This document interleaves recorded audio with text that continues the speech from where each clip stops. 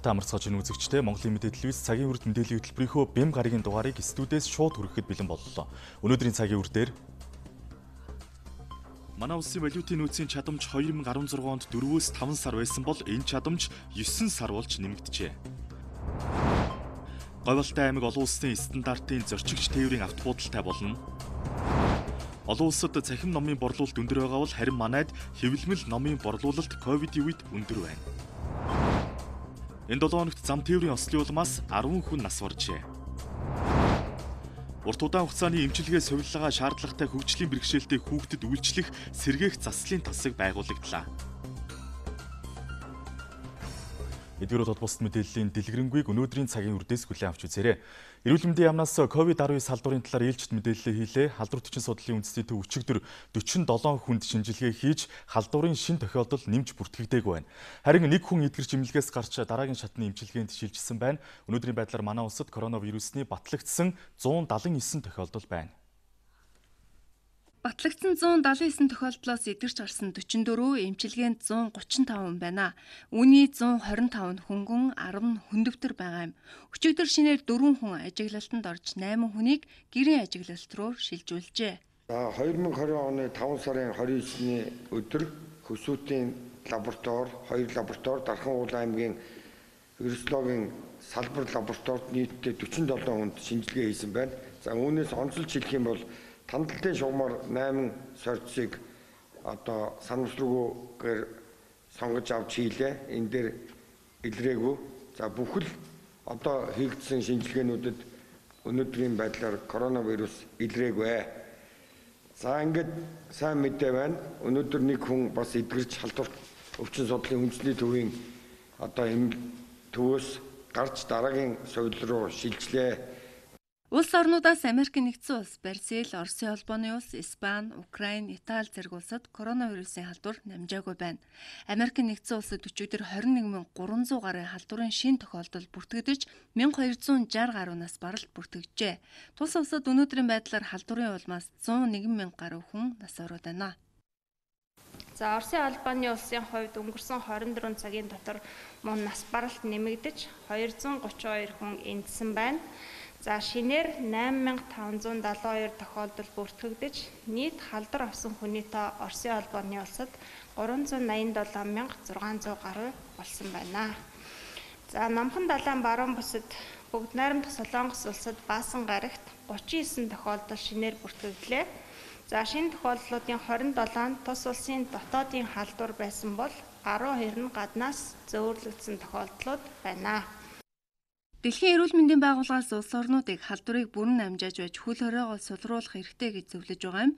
Яагад гэвэл зарим улс оронд халдварын тохиолдол буурдлаа гэд хөл хориогоо сулруулж за үүний улмаас дахин халдварын давлгаа гарч байгааг анхаарууллаа. Солонгос улсын жишээ за мөн одоо Японы Китошохи гэдэг хотод бас 21 хоног өвчл гарч байгаагүй байгаад за сургууль цэцэрлэгийн үйл ажиллагаа хэвийн болгосны дараа өвчл дахиад 43 тохиолдоор бол гинт нэмэгдсэн байна. Ийм учраас иргэн сургууль цэцэрлэгийн үйл ажиллагааг бол хаахад бол хүрсэн байна. За мөн Израилийн эрүүл мэндийн сайд хөл хориог сулруулсны дараа коронавирусын халдвар 7 хоногийн дотор олон сургууль цэцэрлэгт гарсан учраас эргээд сургуулийнхаа үйл ажиллагааг зогсоох ийм шийдвэр гарч байгаа юм байна. Ийм учраас хөл хорио сулруулах ийм арга хэмжээг бол нэлээд одоо улс төртэй эрүүл мэндийн байгууллагуудыг хүчин чадал ийг одоо үнэлсний дараа хийх нь зүйтэй юм а гэдэг ийм одоо дүгнэлтэнд хүрч байгаа юм байна.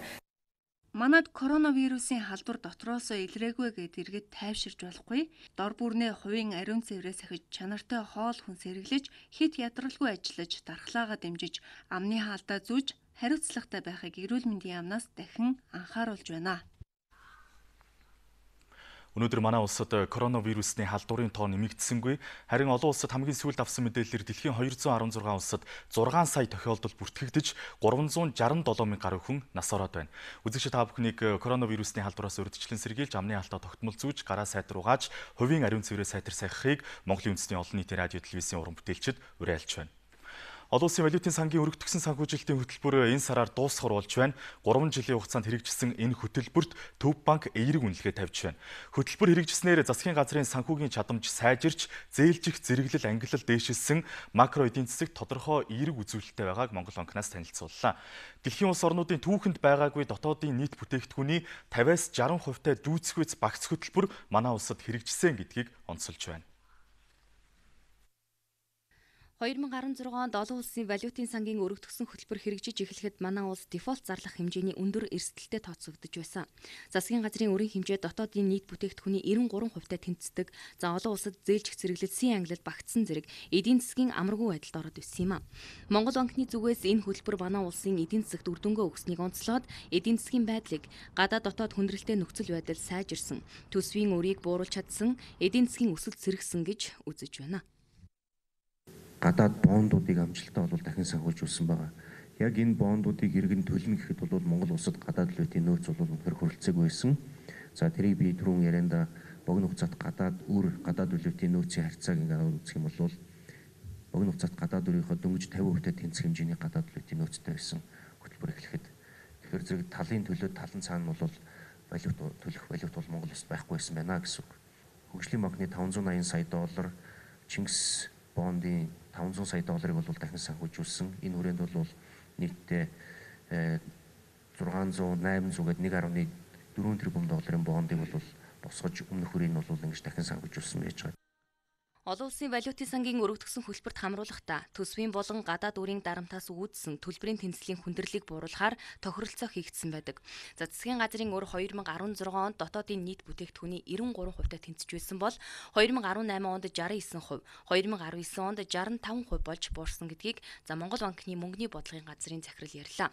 Мөн валютын нөөцийн чадамж 2016 онд 4-өөс 5 сар байсан бол энэ чадамж 9 сар болж нэмэгдэжээ өргөдгсөн санхүүжилтийн хөтөлбөр дууссан ч гэсэн энэ энэ хөтөлбөрийн хүрээнд яригдчихсэн санхүүжилтүүд шинээр яригдж байгаа энэ хөтөлбөрийг хэрэгжүүлсний үр дүнд энэ хилцээрийн боломжууд үүссэн гэд ингээд бодох юм бол бас энэ бас юм чамлахаар үзүүлэлтүүд бол цаана байгаа. Энэ цар тахлын үед олон улсын валютын сангаас гишүүн улс орнуудаа үзүүлж байгаа тэр санхүүжилтийн хэрэгслийг ашиглаж энэ хөтөлбөрийг өөрчлөх юм шийдэл түрээд 2020 оны 6 сараас эхлээд одоо төрөвчлсөн санхүүжилтийн хэрэгсэл гэсэн энэ хөтөлбөрлөө бол ингэ шилжих юм шийдэлд бол хүрчээд байгаа. Энэ хөтөлбөр манай улсад үргэлжлэн хэрэгжинэ. Ингэснээр онцгой цаг үед үүсэх эдийн засагт гарах хүндрэлийг хохирол багтаа даван туулах боломжтой гэж харж байгаа юм. Монгол банк 2020 оны мөнгөний бодлогыг за 1.8 байхаар төсөөлж байгаа. Энэ төсөөл буурна гэдгийг монцоллоо. За олон улсын санхүүгийн томоохон байгууллагууд 2020 оны эдийн засгийн орчин 3-аас 4% агшилттай байна гэж хүлээж байгаа. Эдийн засгийн эдвэг суларсан энэ үе 2020 оны эхний хагас хүртэл үргэлжлэн за сүүлийн хагас тогтсон сэргэлт гарна гэсэн төсөөлөл байгааг мөн дуулгалаа. Хөтөлбөрөө зочны ярилцлагын булангаараа үргэлжилж байна. Хоёрдугаар студид Томч Алтан гэрэл ажиллаж байна. За мэдээллийн хөтөлбөрийн зочны ярилцлагад улсын их хурлын гишүүн Дэлгэр сайхан оролцож байна. За зочинтой Дорногов аймгийн бүтээн байгуулалтын зарим ажил болон цаг үеийн асуудлаар ярилцах болно. За Монголын үндэсний олон нийтийн телевизийн хувьд э, коронавирусны цар тахлын эрсдлээ сэргийлэх үүднээс э, амны хаалтаа тогтмол зүүхийг үзэгч э, олон нийтэд уриалж байгаа. За тиймээс студид хэсэг хором амны хаалттай байлаа. За цаашд ярилцлага амны хаалтгүйгээр үргэлжлүүлье.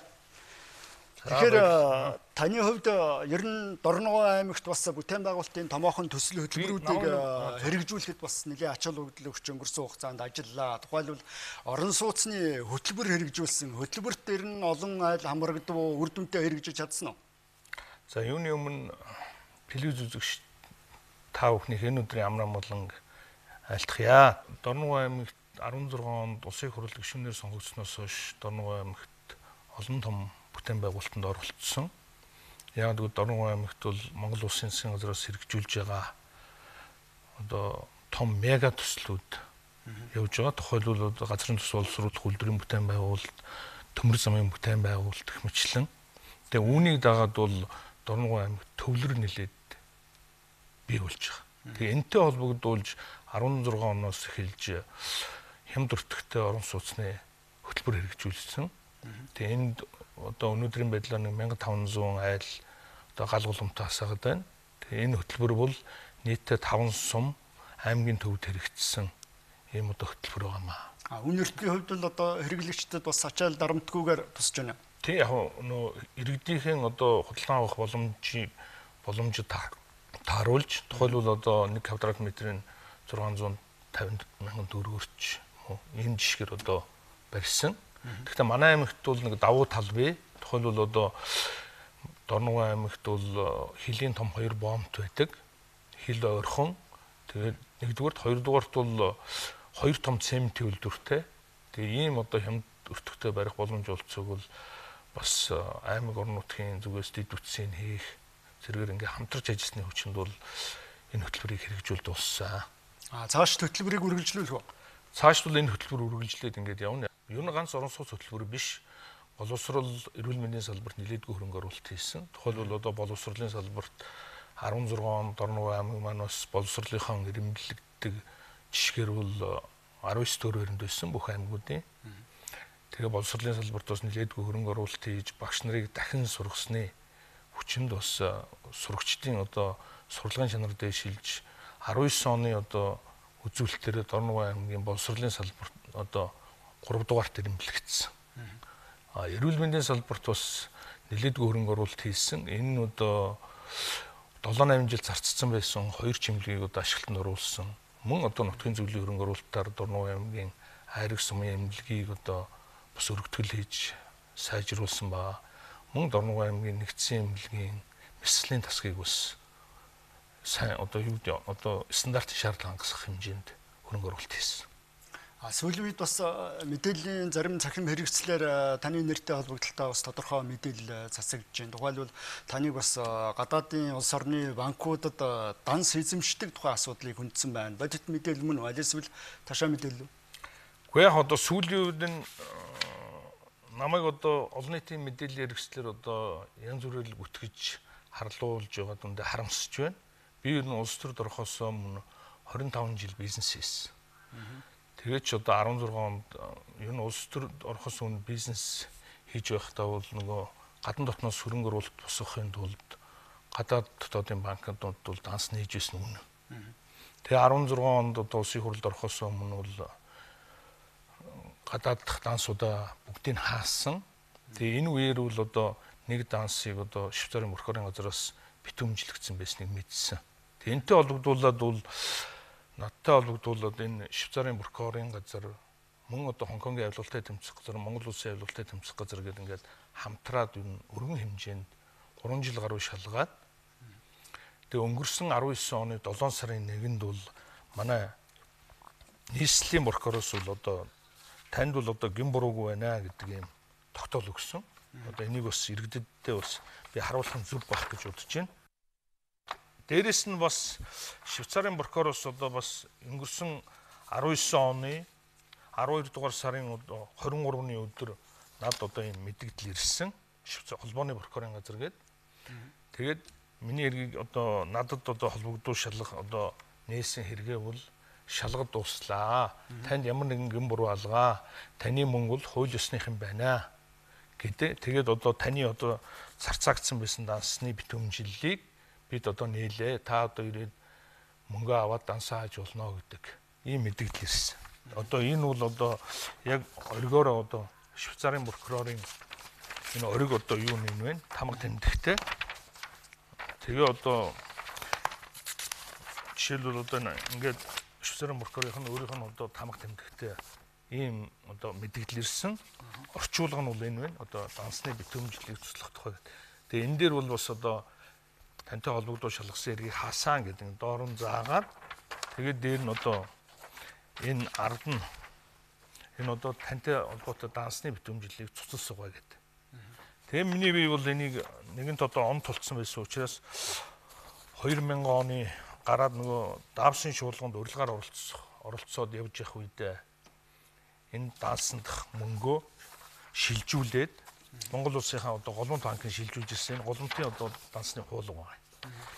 Тэгээд тэрнийхээ дараа бол авилгатай тэмцэх газарт нөгөө хэмжээний орлогын өөрчлөлт орсон гэж мэдүүлсэн байгаа. Тийм учраас бол ингээ үндэслэлгүйгээр одоо янз бүрээр одоо гүтгэж ягаад бол харамсалтай байна. Тэгээ над бол ийм одоо хангалттай баримт байгаа. ямар нэгэн одоо энэ тэнд одоо данс мөнгө нуусан юм байхгүй. А тухайн мөнгө нь одоо ямар их усүрээс бүрдэж байсан гэсэн үг?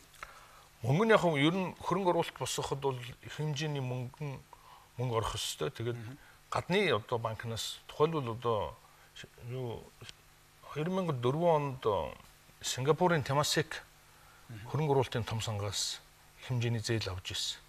Тэгээд дээрэс нь одоо зарим мөнгөө Швейцарын банкнд байршуулж Швейцарын банк Credit Suisse банкнаас зээл авсан. Энэ л мөнгөний зээлийн хүйсвэрээр одоо бүтээн байгуулалтын бас тодорхой ажил хийгдсэн юм уу?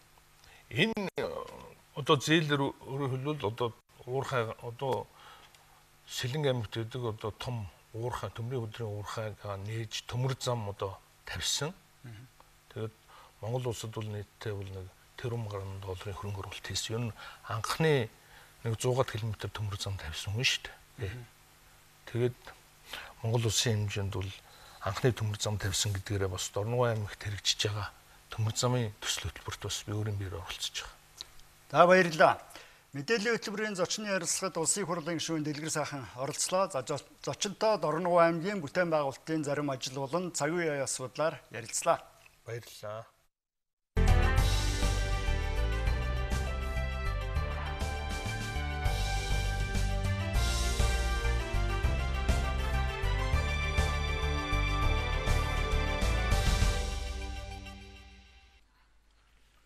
Хөтөлбөрийг сонгон үзэж байгаад баярлалаа. Оюуны өмчийн патенттай олон бүтээл ширээний нүдэнд хадгалаастай байна. Засгийн газрын тэтгэлэг захиалгаар Эрдэмтэд 4200 судалгааны төслийг боловсруулсан ч бодит үр дүнгээ өгч эдийн засгийн эргэлтэд оруулж чадаагүй байна. Манай улсад оюуны өмчийг хэрхэн яаж үнэлэх нь тодорхой бус байгаа талаар Эрдэмтэд хэлж байна субъектуудээр нь аль ашигтанд ордог юм бэ гэдэг. Оюуны өмчийг эдийн засгийн эргэлтэнд оруулахад бид бэлнэ үү? Захим хурал болж байна. Жишээ нь олон жил судалгааны бүтээл төрөвсөн Цэнд аюуш өөрийнх нь нэр дээр бүртгүүлсэн шар сүний зипер үйлдвэрлэх арга шинэ бүтээлийг танилцуулж патентаа хэрхэн үнэлүүлэх талаар зөвлөгөө авлаа. Ер нь шинэ бүтээлийг бол лицензийн гэрээгээр одоо үйлдвэрт нэвтрүүлдэг талаар нэлийн судалгаа хийжсэн боловч яг оюуны өмчөө бол үнэлүүлэх талаар урд нь бол хандж байгаагүй. Энэ удаад бол оюуны өмчийн газар одоо технологийн санд бол хандаад бүтээлээ үнэлүүлье гэсэн юм санал гаргаж байгаа. Эрдэмтэд патентаа үнэлүүлэх талаар эрэл хайгуул хийхэд 4-өөс 5 хуулийн заалт 2-оос 3 өөр журам гарч ирдэг. Хөрөнгө үнэлгээний тухай хууль, инновацийн тухай хуулиар мэрэгсэн үнэлгээчдэр үнэлүүлнэг заасан байдаг бол зохиогч ирэх түүнд хамаарах тухай хууль, патентын тухай хууль зэрэгт өөр өөр заасан байдаг. Тодруулж хэлбэл нэг бүтээгдэхүүнийг 4-өөс 5 аргаар үнэлж болохоор харагдаж байна. Харин бодит үнэлгээг яаж тогтоож байна вэ? Олон эрдэмтэд үүнд эргэлздэг. Оюуны өмчийн тухай хууль 12 сарын 1-ээс хэрэгжиж эхлэхтэй холбоотойгоор зэгцэнд орж байгаа гэсэн үг. За хөрөнгөний үнэлгээний тухай хуулинд нийцүүлээд энэ эдийн оюуны өмчийн тухай хуулинд оюуны өмчийн үнэлгээ гэдэг субъект нь тодорхой болж байгаамаа. Өнөөдөр одоо эдийн засгийн эргэлтэнд оруулах шаардлагатай 100000 гаруй оюуны бүтээл байгаа. Би төхөн цаашдаа тодорхой одоо хуульд нийцүүлж дөрвөн журам заавар энэ бүгдийг бол одоо боловсруулж гаргах ажлыг бол хийгээд явж байна. Зарим эрдэмтэд өөрийн бүтээлд 10 жилийн эрэхтэй патент авчгаад ширээнийхэн шүүгэнд хадгалсаар байгаад хугацааг нь дуусгаж байгаа жишээч байна. Мөн патент алдагдаж зохиогч нь шүүгт хандлаач тухайн бүтээгдэхүүн хідэн төгрөгийн үнэлэмжтэйг нь тогтоож чадалгүй удаж хэрэг хаагдаж байгаа тохиолдолч олон гардаг байна. Зөвшөлдсөний хагаар аяны хэмжээ газар засгийн бүтээлээ бүртгүүлвэл зүгээр байдаг гэсэн Манай улсад оюуны бүтээл үнгүйдж байгааг бид харлаа. За тэгвэл хөгжилтэй улс оронд оюуны бүтээлийн патент эзэмшнэ гэдэг бол уул уурхайн компани лиценз эзэмшигчээс илүү ашиг болох одоо боломжтой байдаг юм байна. Нэг патент зах зээл чинээр нэвтрэхэд эхний зохиогчоос гадна давхар олон хүмүүс ашиг хүртдэг юм байна. Хамгийн гол нь хууль эрхцэн орчин тодорхой байх ёстой гэдгийг мэрэгжлийн хүмүүс хэлж байлаа. Жишээ нь хүүхдүүд үзэх дуртай бяцхан хоцсон шоу Пророг бид сайн мэднэ. Хүүхэлдэн кино манад гардаг болсноор Поророгоор таних тэмдгээ болгосон олон бүтээгдэхүүн зах зээл дээр борлуулагдж байна. За үүний цаана контентийг эзэмшигчээс гадна олон хүн дагаад ашиг хүртэж байдаг. Порорны контент нь зохиогч ирэхээр хамгаалагдж байна. Поророо өөрөө тоглоом нь үйлдвэрлэгдэж байна. Шинэ бүтээл бүтээгдэхүүний загвар барааны тэмдэг авсан байна. Дахиад Поророгийн дүр төрхтэй хүнсний бүтээгдэхүүн үйлдвэрлэхийн тулд үйлдвэрүүд тэн дээр лиценз зингэрээ байгуулж байна. Ингээд тал талдаа ингээд нэг ашгаа хүртээд явж байгаа ийм тохиолдлууд бол маш их байгаа. Энэ бол олон улсад оюуны өмч хэрхэн үнэлэгдэж байгаагийн нэг л жишээ мөнийг хүүхэлдэй киноны баатраар дамжуулаад улс орноос уртчилж бараа бүтээгдэхүүнээ борлуулж олж байна. Эндээс шин санаа, шин үтэл ямар үнцэнтэй байдгийг харж болох юм аа. Эдийн засгийн эргэлтэнд оруулахад зөвхөн мэдээллийн баазыг одоо бас эргэлтэнд оруулах гэж.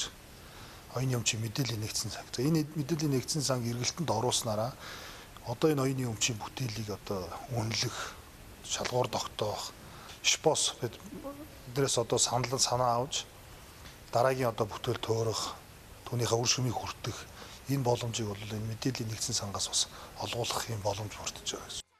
Оюуны шинэ бүтээл зах зээлд гаргахад төрийн дэмжлэг хэрэгтэй. Гэхдээ үүнээс илүү өрсөлдөөнийг зөв шударгаар үнэлэх хэрэгтэй байна. Энэ нь эрдэмтэд урам дэм өгч эцэстээ эдийн засгад шинэ эргэлтийг бий болгодог. M Oil Group нийгмийн хариуцлагынхаа хүрээнд пунсалмаа сангаараа дамжуулж жижиг дунд үйлдвэр эрхлэгчдэд санхүүгийн дэмжлэг үзүүлж байна. За бизнесийн шин санаагаа цаасан дээр буулгаад бодит боломжоо тооцоолж бодиттой хүрэх үр дүнгээ гаргаж чадсан хэн ч гэсэн энэхүү дэмжлэгт хамрагдах боломжтой юм а. Манай баялаг бүтээгчид 2019 онд эдийн засгийг 6.3 хувиар өсгөж чадсан. Бизнесийн шин санаа шийдэл байгаа хэдий ч хөрөнгө мөнгөгүйгээсээ болоод цаасан дээр төлөвлөгөө тооцоо нь үлдэх нь их байдаг. Тэгвэл пунсалмаасан гарааны бизнесийг дэмжиж сайн төсөлд зээл олгох болжээ. Тэгээд мэдээж жижиг дунд үйлдвэрлэл гэж байгаа учраас энэ бол томоохон хэмжээний төсөл хөтөлбөр бол биш. Нэг аж ахуй, нэг жижиг үрхийн аж ахуйд 10 сая төгрөгийн зээл өгөхөд түүний цаана бол 3 орчим хүмүүс их ажилд авдаг. Зарим аж ахуйнууд бол 5 6 ажилд албаагч ажилд авна гэж ярьж байгаа. Ингээд үзэхлээр зэрэг маш олон ажлын байр, маш олон жижиг өрхийн үйлдвэрлэлүүд өсөх юм болцоо байна. COVID-19 вирусны улмаас олон бизнес эрхлэгчид санхүүгийн хүнд байдалд байна. Ийм цаг үед эх оронч үзлээр үндэсний үйлдвэрлэгчдэд дэмжиж, бараа бүтээгдэхүүнийг нь сайн худалдан авч, том утгаараа эдийн засгаа дэмжихийг иргэддээ хандан Пунсалмаа сан M Oil Group-ийнхэн уриалж байлаа.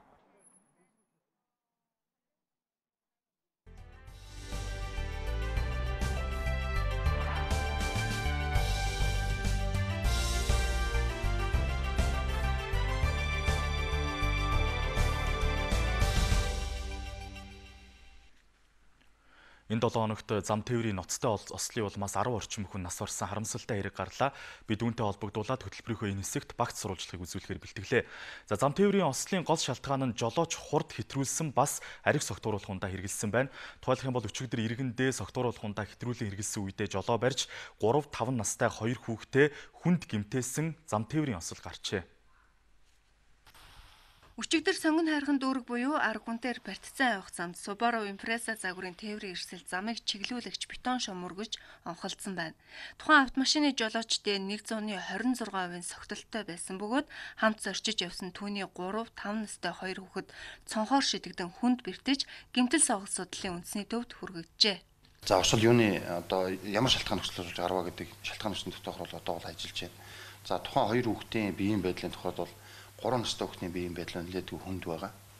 За жолооч гэсэн баг зэргийн бас гимтэл бол авсан байгаа. Тэгээд ерөн зөв жолооч нар ингээд согтуугаар тэрвэрлэл нэгдүгээр жолоодох маань өөрөө бол асрах амнаас эрүүл мэндийн төрөнгийн хувьд тийм бас эрсдэлт учруулдаг. Дээр нь зам тэр осол гэдэг бол өөрөөс нэгээс 2 секунд дотор болдог юм процесс үйл ажиллагаа. Тэгэхээр жолоочийн самбаачлах хугацаа бага бага тусмаа эрсдэлт орохын боломжоос өөрийгөө болон өрөөлийг одоо зайлшгүй бүрэн боломжтой байдаг. За сүүлийн үед бол энэ согтуугаар тэрвэрлэл жолоодох зөрчил бол харин ч бүр нэмэгдэх хандлагатай болчиход байна. Өрн дулаан цаг ирж иргэд амралтаа авч хөдөө орон нутгийг зорих хөдөлгөөн эрс нэмэгдсэн. Энэ хэрээр орон нутгийн замд гарах ослын тоо нэмэгдэж байна.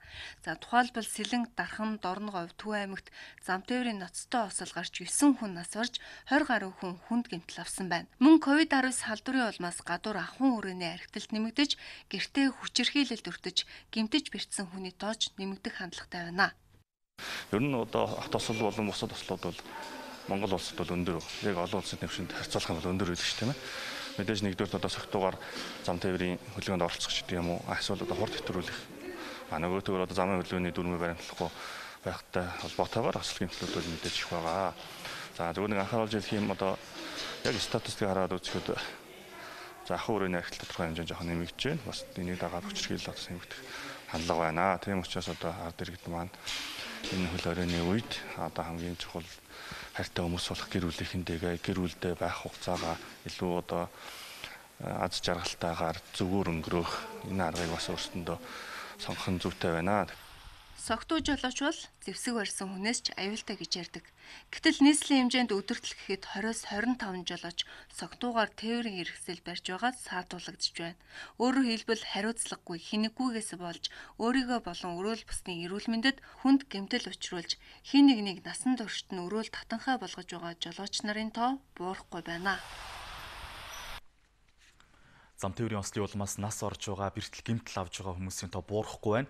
За автомашинаас гадна дулааны улиралд мотоцикл унаж хөдөлгөөнд оролцох нь нэмэгддэг. Манай улсад сүүлийн 5 жилд мотоциклийн ослоор 500 гаруй хүн нас орсон байна. Ослын шалтгаан бүрэн бус тээврийн хэрэгсэл согтуугаар одоо мотоцикл жолоодсонтой шууд холбоотой гэдгийг цагдаагийн албан хаагчид хэлж байсан юм. Иймээс тээврийн хэрэгслийн бүрэн бүтэн байдлыг хангах хамгаалалтын хэрэгсэлтэй хөдөлгөөнд оролцохыг сэрэмжлүүлж байна.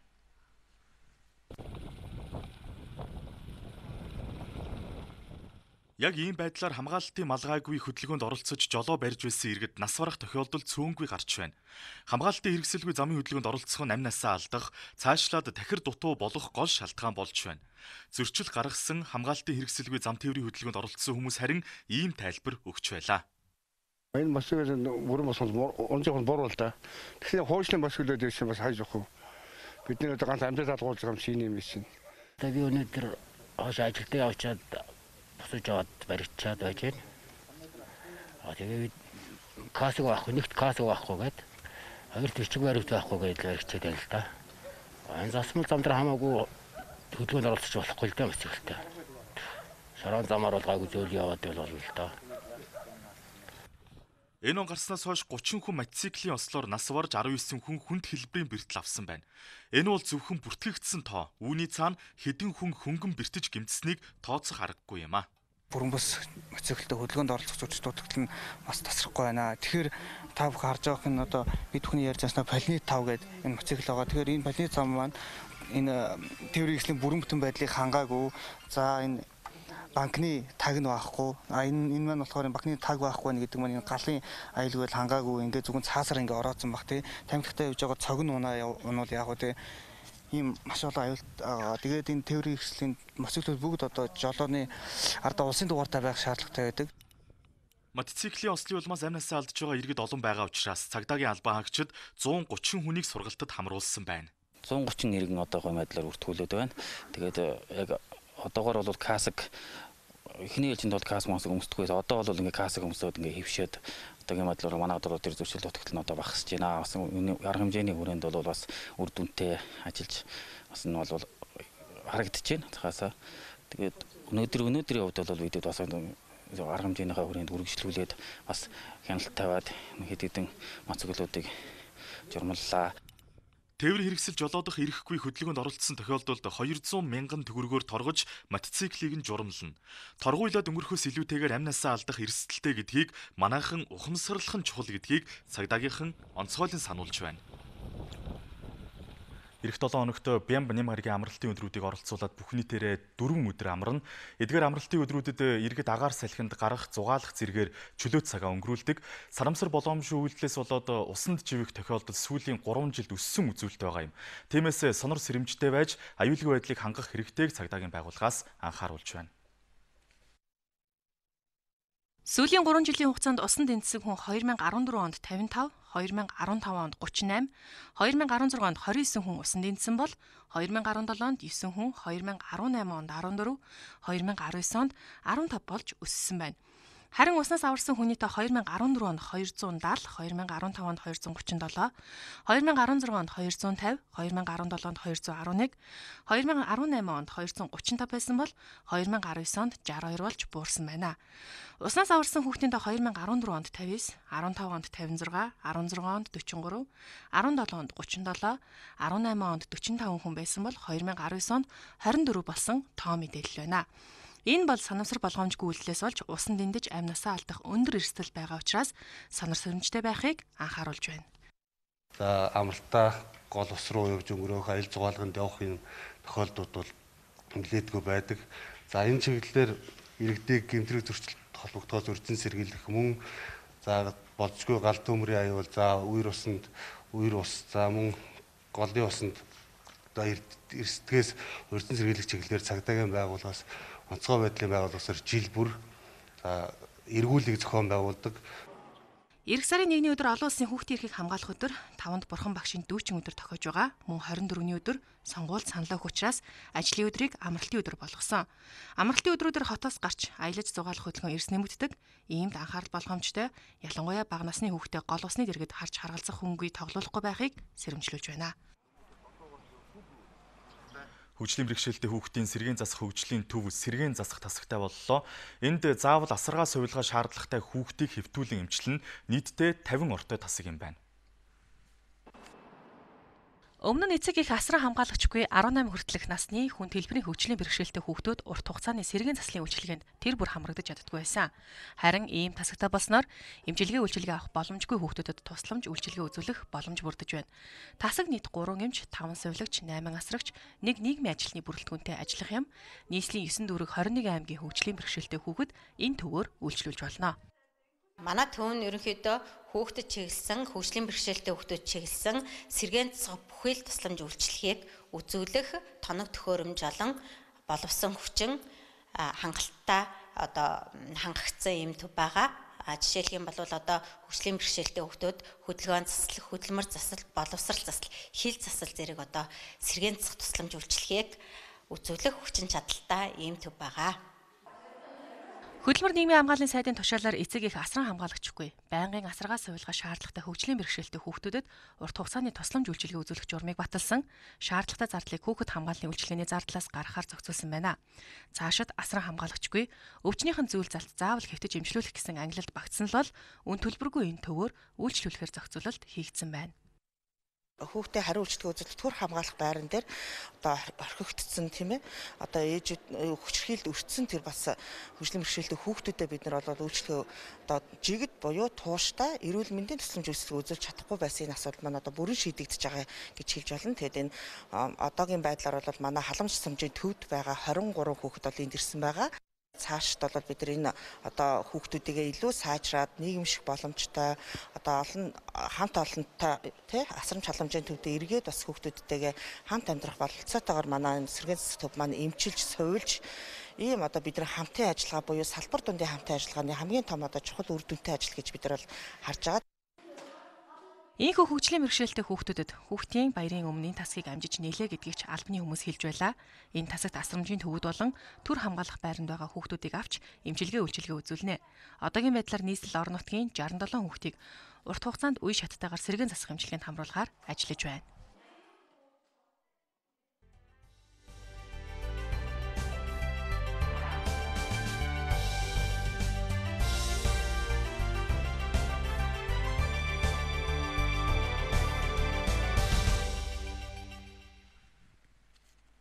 Одоо үзэгч та бүхэнд Монголын мэдээ телевизийн орон нутаг дахь сурвалжлагчдын ирүүлсэн мэдээ сурвалжлагуудаас танилцуулъя. Говьолтой аймагт олон улсын стандартад нийцсэн зорчигч тээврийн автобуудал байгуулахар болсон байна. Өдөртөө 500 хүнд үйлчлэх хүчин чадалтай байх юм. Автобуудлын барилгын ажил эх сарын сүүлээр эхэлж энэ ондоо багтаан ашиглалтанд орох юм байна. Шин зорчигч тээврийн автобуудал нь эмнэлгийн анхан шатны тусламжийн өрөө, хүлээлгийн өрөө, их хүүхдийн амрах өрөө, ачаа тийш хадгалах өрөөтэй байх юм а. Нийтдээ 648 м квадрат бүхий 3 дугаар зэрэглэлийн байгууламж буюу олон улсад хүлээмж шөрөгдөх барилга юм а. Том орын одоо ачааны машин маань одоо энэ үзлэгийн төвөр мэн одоо багтдаг. Том орын машиныг бол одоо хашааны гаднаас одоо улсын дугаар бас холбогдох хараамны дугаар холбогдох техникийн ерөнхий үзлэгийг хийгээд ингэ тулсан. За энэ автозал баригснаар бол за том орын ячааны машин бол юу техникийн үзлэгээр бол орох бүрэн боломжтой болж байгаа. Хяналт шалгалтыг илүү өндөржүүлэх ялангуяа одоо тээвэрлэгч аж ахуйн нэгжүүдэд тавигдж байгаа шаардлагыг бид нар улам бүр одоо олон улсын жишгт нийцүүлэх энэ төвшөнд аваачиж ажиллаж байгаа. Тэгэхээр энэ шинэ автобуудлын ашиглалтанд орсноор одоо жолооч нарын одоо ялангуяа амрах байрлах энэ нөхцлүүд бол их бүрдэн. Говьлтай аймгийн одоогийн автотеврийн төв нь өөрийн эзэмшлийн автобуудлын барилгагүй байсан. Мөн Альбан конторын байранд 2000 оноос хойш үйл ажиллагаа явуулж иржээ. Энэ онд автобуудал барих ажил төлөвлөгдснөөр өдөртөө нэг шугамаар 40 тээврийн хэрэгсэлд үзлэг хийх боломж бүрдэж байгаа юм. Түүнчлэн албан хаагчдын ажиллах нөхцөл аюулгүй байдал бүрэн хангагдж байна. За өнгөрсөн жил их ч одоо дөрвөн аймагт бол хийж хэрэгжүүлсэн байгаа. Одоо дамжин өнгөрч байгаа ховд Баян үлгийн чиглэлийн бол 200 орчим мянган одоо дамжин өнгөрч байгаа иргэд маань бол эндээс одоо энэ тээврийн үйлчлэгийг бол тав тухтай газраас авах бүрэн боломжтой. Хуучин авто тээврийн төв нь жилдээ 70 мянган хүнд үйлчлэгээ үзүүлдэг. Олон улсын стандарт нийцсэн авто буудалтай болсноор энэ тоо хоёр дахин нэмэгдэнэ гэдгийг авто тээврийн үндэсний төвөөс тооцоолжээ. Засгийн газраас үйлчлэлтайгаараа аймагуудын авто буудлуудыг шинжлэх ажлыг эхлүүлсэн. Одоогоор 15 аймгийн авто буудлыг шинжилээд байна. Энэ удаагийнх нь 16 дахь авто буудал юм а. Энэ авто тээврийн төв бол зөвхөн улс хорн аймаг хот хоорондын юм биш. Сум аймгийн хоорондын холбоог бас сайжруулах ийм гол зам байгаа. Түүнээс гадна энэ 9 болог сумын нийтийн тээврийн хэрэглэг сайжруулах, хүрэлцээг нь нэмэгдүүлэхийн тулд энэ жил 2 автобус шинээр аврагдах ёстой. 10 автобусны бодлыг хамгийн орчин үеийн байдлаар тогтцуулж зассан юм 10 автобусны бодлыг багууд дээр байгуулна. Гэх мэтлэнгээр ингээд урдах юм бол автоэврийн салбарт хийсэн хөрөнгө оруулалт бол бас маш их байгаа. А ер нь бол Говьалтай аймаг бол баруун тийшээ явж байгаа гол зангилаан дээр байдаг учраас автоэврийн үндсийн төвийн барилга бол шаардлагатай байсан. Энд бас онцлогоо хийнэ. За дээр нь бол бас баг зэргийн засвар үйлчлэгийг хийнэ. Энд тээвэрчд маань амраад цай ун дууга байж хооронд нь онцлогоо үйлчлэгээ хийчих юм болцсон боломж өрдөн. Зөвхөн Говьалтай аймаг гэлтгүү ховд Баяуулгийн чиглэлд жилдээ 200 мянган зорчигчд амжин өнгөрдөг гэсэн судалгаа гарсан байдаг байна. Сүүлийн жилүүдэд баруун чиглэлийн аяллаа маршрут нэмэгдсэн. Энэ байдлаас шалтгаалж олон улсын стандарт нийцсэн автобуудлыг байгуулахаар төлөвлөсөн нь энэ юм а орон нутагт хийгдэж байгаа бүтээн байгуулалттай холбоотой дараагийн сурвалжлагыг хүргэе. Сэлэнг аймгийн Сүхбаатар сумын 5 дугаар багт шин цэцэрлэг ирэх 8 дугаар сард ашиглалтад орохоор болсон байна. 50 хүүхдийн багтаамжтай цэцэрлэгийг Америк нэгдсэн улсын буцалтгүй тусламжийн санхүүжилтээр барьж эхэлжээ. Борговыны 5 дугаар баг нь алслагдсан багийн нэг цэцэрлэгийн насны хүүхдүүдийн хамран сургалт бусад багаас бага хувьтай байдаг юм байна. Америк нэгдсэн улсаас Монгол улсад суугаа онц бөгөөд бүрэн эрэхт элчин сайд Майкл Клечский барилгын ажлын явцтай танилцсан юм а. Uh, Манай хоёр улсын харилцаа сүүлийн жилүүдэд эрчимжиж стратегийн түншлэлийн төвшөнд хүрсэн. Тиймээс Америк нэгдсэн улс Монгол улсад хэрэгжүүлэх төсөөл хөтөлбөрүүдэд анхаарч байна. Сэлэнг аймгийн Сүхбаатар сумын 5 дугаар багт цэцэрлэгийн хүрэлцээ тааруу юм байна. Манай талаас энэ асуудлыг шийдвэрлэж байгаадаа баяртай байна. Энэ цэцэрлэгийн барилга нь байгаль орчинд ээлтэй, эрчим хүчинд хэмнэлттэй гэдгийг төслийн инженер нь хэлж байна. Одоо халаалт байна шүү дээ. Байгаль орчинд ээлтэй гэж байгаа учраас энэ шингээлтгүй септик танк одоо бохрын соруулдгаар тэгж төлөвлөгдсөн байгаа. Шин цэцэрлэг 8 дугаар сард ашиглалтанд орсноор багийн хэмжээнд нийгмийн томоохон асуудал нь шийдэгдэнэ. Мөн аймгийн хэмжээнд шинэ ажлын байр бий болох юм. Одоо хамтын ажиллагаа гэдэг бол олон улсын хүүхдийн эрхийг хамгаалах өдөр тун удахгүй болох гэж байна. Энэ өдөр хүүхдүүд аав ээжээсээ бэлэг авдаг бол бусдад өөрийн хийсэн зүйлээ зарж борлуулан мөрөөдөлтөө нэг алхам ойртож байгаа инхчин охины тухай сурвалжлалаа. 11 настайгаас ханы болон хашааны гоёл урлаж түүнийгэ борлуулан өөрийн гэсэн хуримтлалтай болж чадсан байна. Инхчи охин одоо 13 настай 2 жилийн өмнөөс сэлбэрч мэрэгжилтэй ээжээсээ зураг зурах, сийлж урлах ямар сайхан ажил болохыг илүүтэй мэдэрч сонирхож эхэлсэн. Мөрөөдлөө бодит биелэл болгож яваа нэг юм. Анхандаа ээжийнхээ тусламжтай эдгээр ханы болон хашааны гоёл бит хэлбэрийн тоглоом, цэцгийн сав, сандал зэргийг хийдэг байсан бол одоо би дааж ганцаараа хийж чаддаг болжээ. Мод цемент барилгын хөөс хуванцар хавтан ашиглан эдгээр тоглоомыг сардаа 200-аас 300 ширхгийг тогтмол хийж байна би ингэж сэлбэр хийж сурсан нь өөрийнхөө хэрэгцээтэй ном дэвтэр эднэрээ аавна. Тэгээд бас одоо баярын өдрүүдээр бас юу бэлэг сэлт авах аавна гэж хэрэгцээтэй юм авчдаг. Тэр нь их гоё таалагддаг. Бас сэлбэр хийх нь бас хамгийн гоё зугаатай ажил. Инхчи охин өөрийн олсон мөнгөөр өндөржүүлсэн бэлэн байдалд цаг наргүй ажиллаж байгаа цагдаагийн аль багш нарт зориулан сэргийлэгчгүйг урлаж бэлгэлсэн байна. Цаашлаад эрүүлэнхийн мананд ажиллаж байгаа эмч сувилагч нар болон онцгой байдлын аль багч нарт зориулж өөрийн бүтээлээ өгөхөөр төлөвлөж байгаагаа хэлсэн юм а.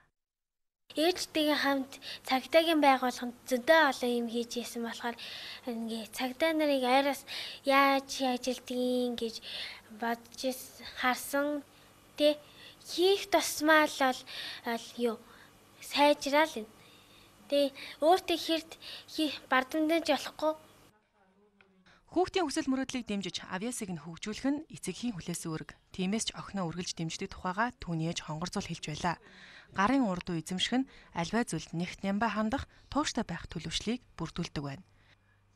шууд талах авч өгснөөс талах хийх аргыг нөгөө зааж өгөө гэдэг нэг үг үү. Тийм болохоор би хүүхдтэй бэлэн зүгээр тоглоом авч өгөхөөр а чи энэ тоглоомоо өөрөө хийх болцоотоо би чамд материалаар ингээд хангаад одоо яаж хийх аргыг зааж өгье. Чи тэгээд энгүүр ингээд суралцаад ингээд одоо цаашдаа ингээд энийг авч явах нь уу эсвэл яана өөрийнх нь ажлын байран дээр гарахад энэ манай хүүхд мань одоо тухайн ямар ч байгууллагад одоо ажилд орсон ч гэсэн тухайн байгууллагыг ядаж нэг хааны самбар дээр логог нь хийгээд өгч чадвартай тийм болоосоо гэж хүссэндээ одоо ингээд юм зааж өгдөг.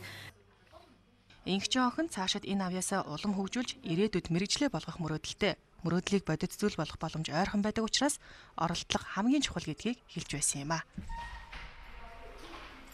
Төв аймгийн Дэлгэр хаан сумаас Монголын радиогийн 5 эрдэнэ нэвтрүүлгийн нэрэмжит Алтан унганы эзнэр аймгийн авраг малчин Гаваагийн Отхон Баатар шалгарсан байна. Тэрээр 30 гаруй жил мал маллаж өнөөдөр нутаг усандаа хамгийн олон адуун сүрэгтэй хурдан удмын адуун сүргийн үйлдвэр ухсааг хадгалж сайжруулах тал дээр нутаг орондоо үлгэр болох үз туршлага хуримтлуулсан нэгэн гэдгээрээ алдартай юм а. Дэлгэр хаан уулаараа угулсан энэ нутаг ус Өвөрхангай Дундгов аймгийн сумдтай хил залгаа уламжлалт бэлчээрийн мал аж ахуйн эрхэлсээр өнөө цагтаа золгосон. Энэ нутгийн алдар суутай олон малчтын нэг бол шинэхэн алтан унганы эзэн Отхон Баатрин аав Тогоон Гаваа гэж том цагаан саруултай хүн байсан хэмээн нутаг усныхан бидэнд хуучилж байлаа. Аавынхаа малчуудам алдар хүндийг унгалгүй үргэлжлүүлж яваа нэгэн бол аймгийн авраг малчин Гаваагийн Отхон Баатар хэмээн алтан унганы эзнийг онцолж байсан юм. За нэг 200 год унаг авсан. За энэ жилч нэг 100 год унганы төлөлттэй Оо тэгэхэд би адууны дээдийг л их шүтэж явдаг да. Адууны цагаан шамраа өөдөн байг. Миний аав адууч хүн байсан. Плер хааны дагоогны аваа гэж хүн байсан. Би аавынхаа нэр хүндий гаргаж ийм алтаоног гэж Төвөмгийн дэлгэр хаан суманд давстуугийн малчин аваагийн отхон баатар гэж алтаоногны хамгийн анхны төлөгийг л шагналыг л авлаа да. Гаваагийн Утган Баатрих Төв аймгийн өндөр ширээт Юн сумдын заагаар өвлжиж Эрдэнэ санд суманд хаваржиж ирээд Дэлгэр хан уулынхаа бэл Төхмийн голд нутаглаад байгаа нь энэ. Тарган мал тал үрийн ашигтай гэдгийг хүүхдүүддээ байнга захиж эцэг эхийн заасан сургасан гэж өнөө үр хүүхэд нь алдалгүй ажил хэрэг болгож явдагт талархаж суудагаан түүний ээж өдгөө нас сүудэр 80 гарсан дамбын дашнамжилгай ярьж суусан юм. Малыг бүлэст 5 гушуун мал 5 ланг малсан манай манай нөхөр. Адуу тиймээ өвөр зовоодын үнэ тэгж цааж тэгжсэн дээр үргэлт. Одоо үдийн нас наслах гэж одоо малаар л амтэрсэн малдаар л амтэрсэн дөө. Ийхүү малчуудмыг дээдлсэн энэ айлаас олон хүүхэд үр ач нар нь мал тайртай өсч нутаг усандаан эзэн сууж байна. Отхон Баатарын ах Лавгаатар нь 2017 онд улсын авраг малчин болж байжээ. Дэлгэр хаан сум сүүлийн 30 гаруй жилийн хугацаанд дөрвөн улсын авраг малчинтай болоод байгаа юм. За манай сумаас а улсын авраг малчныг за улсын одоо өнөөдөр Монголын үндэсний олон нийтийн телевизийн халтан одоо унганы эзэн бас нэг тодорч байна. За мөн аймгийн авраг малчин 6, аймгийн одоо самбуугийн нэрэмжит шагналтан буюу одоо залуу авраг малчин 2. За 2019 оны одоо ажлын амжилтаараа манай сум одоо Төв аймгийнхаа 27 сумаас одоо 4-р байранд шалгарсан. Төв аймгийн Дэлгэр хан сум зуны ихэнх сар гарсан ч өвс ногооны гарц гандуу тааруухан байлаа. Өнгөрсөн өвөл хавар 200 гаруй малчин өрхийн 117 мянган толгоймол аймаг дундын отрын бүс нутагт өвлжжээ. Бэлчээр усыг нөхөн сэргээх хамгаалах тал дээр улс аймгийн авраг малчтын үүрэг оролцоо их. Тэдний үлгэр дуурайлал чухал гэдгийг нутаг орны удирдлагууд ярьж байсан юм. Монголоос ниссэн онон нэртэй хөхөө шувуу 12 мянган км замыг туулж Монгол орондоо иргэн ирснийг дэлхийн хэвлэлүүд мэдээлж байна.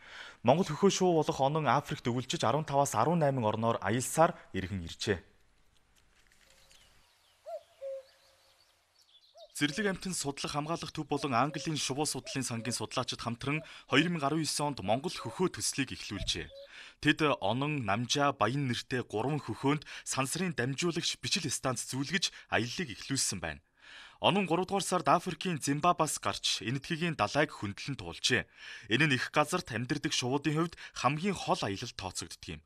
Онон цагт 60 км цагийн хурдтайгаар зөвхөн далай дээгүүр 2500 км зам туулсан байна. Орноос ниссэн игэл хөхөө шувуу одоо хямлаа нуурны зүүн хэсгээр тойроод энтхийн одоо хойгдоч түр амраад тэндээс энтхийн далай хөндлөн голдгатлаад зүүн Африкийн улсуудад очиж өвлжтэн бол тодорхой болж байгаа гэсэн үг л дээ. Зүйл болгон бол харилцсан өөр өөрийн гэсэн амьдрах зохилдолгоотой байдаг тийм ээ. Хаана одоо тухайн зүйл минд үлдэж чадж ин тэр газраа л ерөнхийдөө амьдардаг. Дээрх гурван хөхөө нь өвөлжих нутагта 9 минт хүрсэн. Харин намжаа нэртэй хөхөө Кен улсад хамгийн сүүлийн мэдээгээ өгчээ. Ямар ч хэлсэн онон нэртэй хөхөө яг түрүү жил 6 сарын 4-5-нд баригдсан тэр газараа буцаад ирсэн байгаа. Одоо сүүлийн үед өгсөж байгаа хэд хоногт өгч байгаа мэдээллийг харахад бол үнэхээр одоо тэр хурхаа үндэд өөрийнхөө үржлийнхаа газар нутгийг одоо хамгаалаа тэндээ үржилж бэлдэж байгаа иймэрхүү мэдээлэлтэй байгаа. Энэ төсөл хүүхдүүдийг байгальд ойр ээлтэй хүн болгон хүмүүжүүлэх зорилготой юм. Хөхөө шувуунд Хинтээ аймгийн Бэндэр сумын сургуулийн сурагчид нэр өгсөн байна. Шувуудыг нүүдэллэх хугацаанд сурагчид Сокотран арлын сурагчидтай захиагаар харилцаж өөрсдийн шинээр сурсан танин мэдсэн зүйлсээ харилцан солилцож байжээ.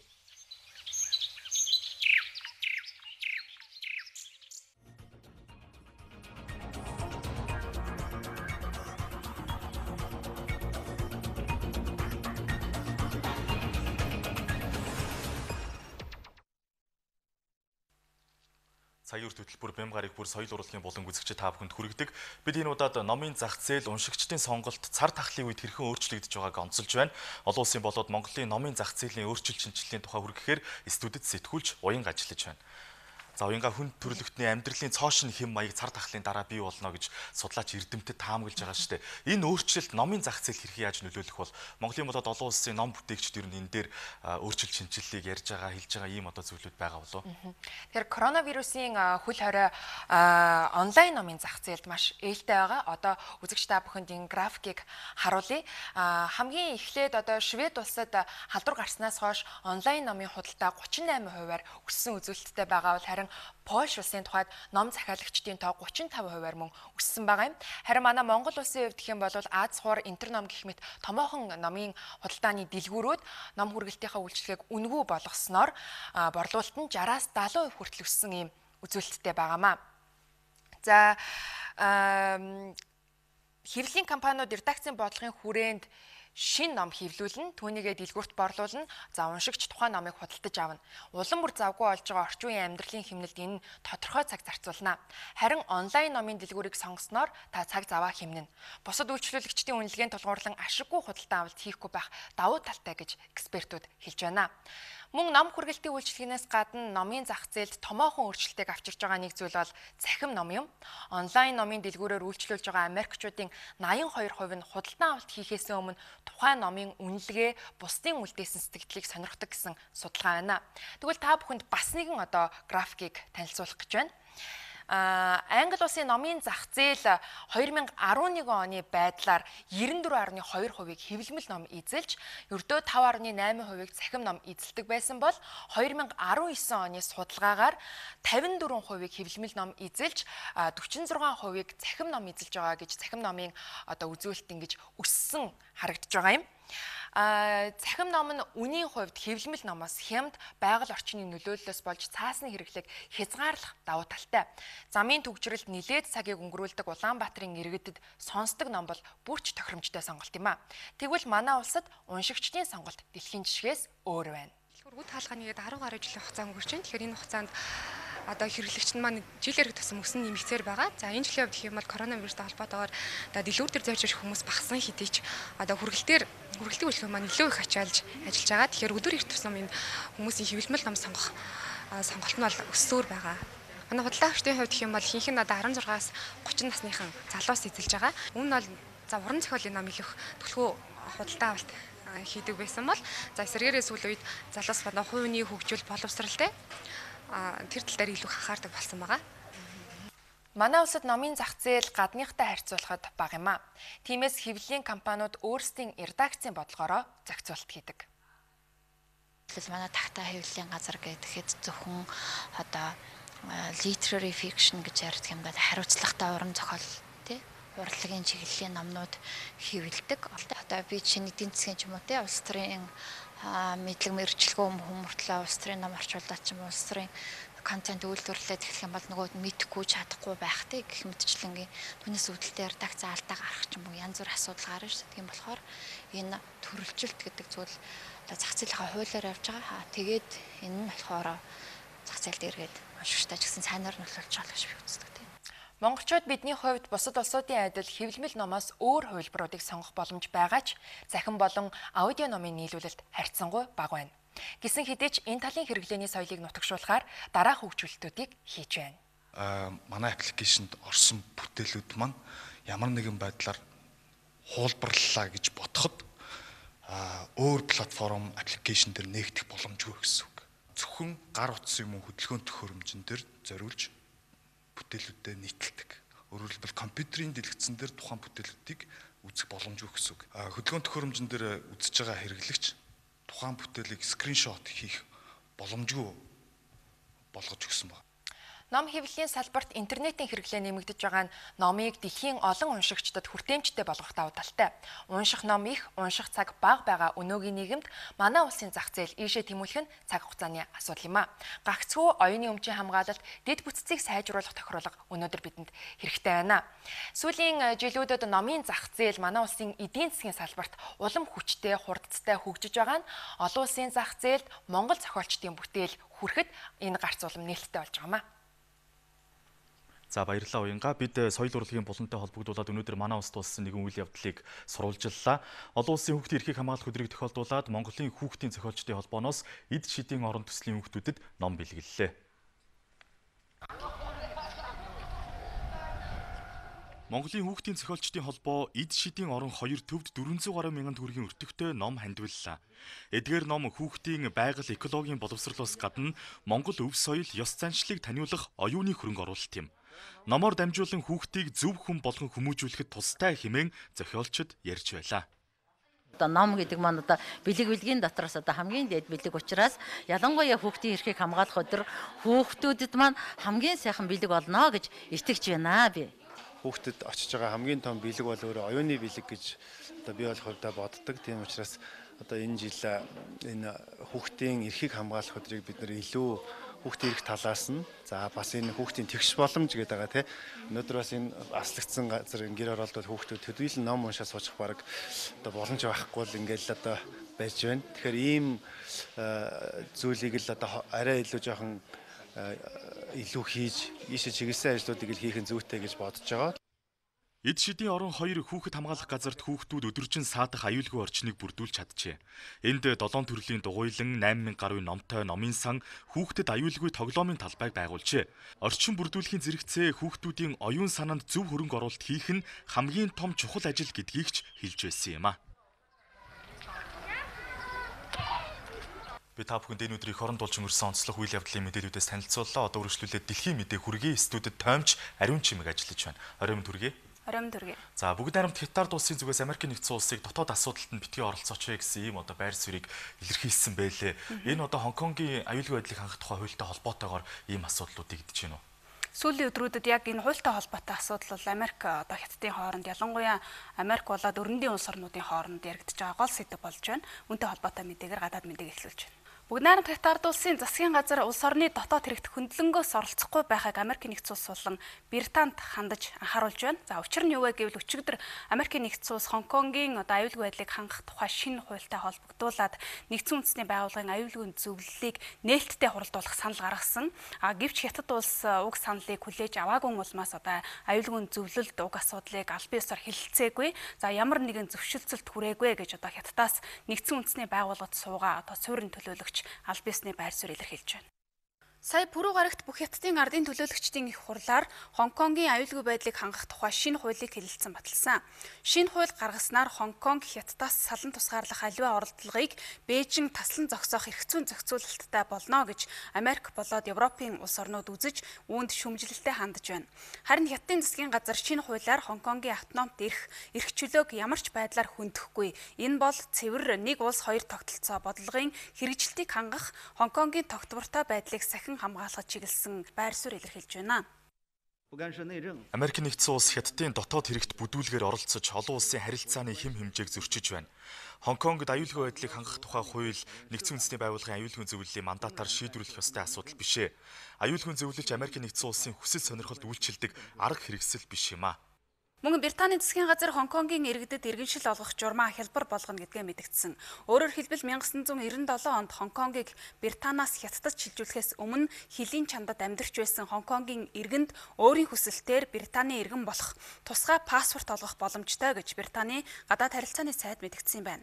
Үүнтэй холбогдуулж Хятадын засгийн газар Хонконг Хятадын захиргаанд ирснээс хойш Британд Хонконгийн асуудалд оролцох ямар ч одоо эрх зүйн үндэс байхгүй гэдгийг аль биесээр илэрхийлж байна. Америкийн нэгдсэн улсын ерөнхийлөгч Дональд Трамп өчигдөр хэвлэлийн баг хурал хийхдээ их газрын хятадаас ялгаатай нөхцлөөр Хонконгтой харилцдаг бодлогоо өөрчлөхөр болсноо зарлалаа.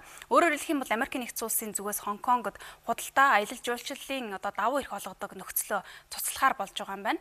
Мөн одоо Хонконгийн өөртөө засан засах одоо онцгой статусыг сулруулахад шууд болоод шууд бусаар оролцсон Хятад Хонконгийн өндөр албан тушаалтнуудад эдийн засгийн болоод визний хориг тавиха цагаан ордны тэргүүн мэдгдсэн байна. 1997 онд Хятад Британий хооронд байгуулсан гэрээгээр Хятад нь Хонконгийг нэг улс хоёр системийн дагуу захирч 2047 он хүртэл автономт эрхтэй байхыг нь зөвшөөрсөн байдаг. Энэ нь Хонконгт онцгой эрхтэй харилцаагаа үргэлжлүүлэх боломжийг олон улсын хамтын нийгэмлэгт олгож ирсэн байна. Үүний үндсэн дээр Америк нэгдсэн улс Хонконгтой худалдаа эдийн засгийн онцгой харилцаатай явж иржээ. Америк нэгдсэн улсын засаг захиргаа Хятад улс Хонконгийн аюулгүй байдлыг хангах тухай шинэ хууль баталсан нь Хонконгийн өөртөө засах онцгой статусыг устгаж Бээжингээс хамааралтай болно гэж үзэж байна. Хятад улс нэг улс хоёр тогтолцоо бодлогоос ухарч нэг улс нэг тогтолцоо болгож байна. Иймд бид Хятад улсаас тусдаа хил гайлын бодлого, визний нөхцөл хэрэгждэг, Хонконг давуу эрх олгодог энэ харилцааг цуцлах болно. Америкийн төрийн департамент Хонконгийн иргэдэд тавьдаг хөлийн хяналтыг чангатгах, Хятадаас иргэдээ Америкт аюулгүй байдлын эрсдэл учруулах үс гэж үзсэн гадны иргэдийг хөлийн хориг тавих юм байна. Тухайлбал Хятадын зарим оюутан судлаачдыг оюуны өмчийн эрх зөрчсөн гэдэг шалтгаанаар Америкт зорчихыг хориглох юм байна. За энэхүү хориг 6 дугаар сарын 1-ээс хэрэгжинэ гэж цагаан ордны мэдэгдэлд дурдсан байна. Үзэгчдээ өнөөдөр олон улсын хүрээнд анхаарал татж байгаа гол үйл явдлын мэдээлүүдээс танилцууллаа. За баярлалаа Ариун Чимгээ. Одоо үзэгчид та бүхэн дэлгэцнээс өнөө шөнийн болоод маргааш өдрийн цагаагаарын мэдээллийг хүлээн авч үзнэ үү. Үлгээд шөндөө 7 градус дулаан өдөртөө 20 градус дулаан. Улаан гомд шөндөө 10 градус дулаан өдөртөө 22 градус дулаан. Ховдод шөндөө 8 градус дулаан өдөртөө 22 градус дулаан. Алтайд шөндөө 3 градус дулаан өдөртөө 13 градус дулаан. Улаастад шөндөө 3 градус дулаан өдөртөө 12 градус дулаан. Тосон цэнгэл шөндөө 2 градус дулаан өдөртөө 12 градус дулаан. Баян онгорч шөндөө 2 градус дулаан өдөртөө 15 градус дулаан. Мөрөнд шөндөө 4 градус дулаан өдөртөө 18 градус дулаан. Хатгалт шөндөө 1 градус орчим өдөртөө 14 градус дулаан. Цэцэрлэг шөндөө 2 градус дулаан өдөртөө 14 градус дулаан. Хар хорин шөндөө 3 градус дулаан өдөртөө 18 градус дулаан. Арвайхэр шөндөө 3 градус дулаан өдөртөө 17 градус дулаан. Булганд шөндөө 1 градус дулаан өдөртөө 18 градус дулаан. Дарханд шөндөө 4 градус дулаан өдөртөө 23 градус дулаан. Эрдэнэ хотод шөндөө 2 градус дулаан өдөртөө 18 градус дулаан.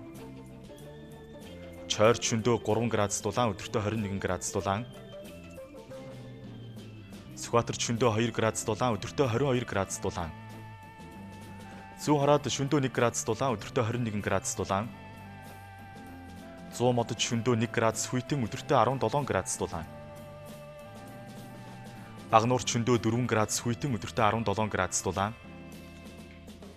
Чингис хотод шөндөө 1 градус дулаан өдөртөө 19 градус дулаан. Баруун уртад шөндөө 6 градус дулаан өдөртөө 20 градус дулаан.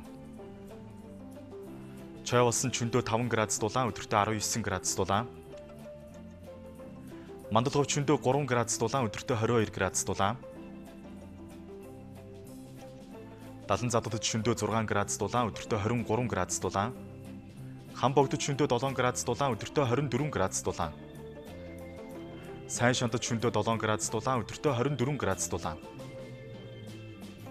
Замын үдэд шөндөө 6 градус дулаан өдөртөө 23 градус дулаан. Харин Ниц Улаанбаатар хотод өнөөдөр шөндөө 2 градус дулаан маргааш өдөртөө 19 градус дулаан байх төлөвтэй байна.